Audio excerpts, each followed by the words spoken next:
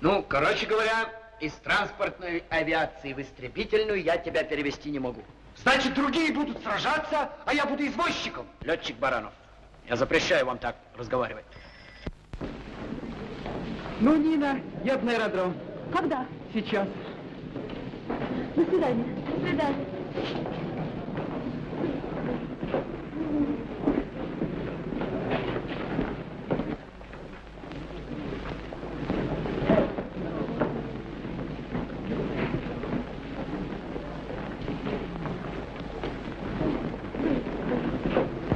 Случилось?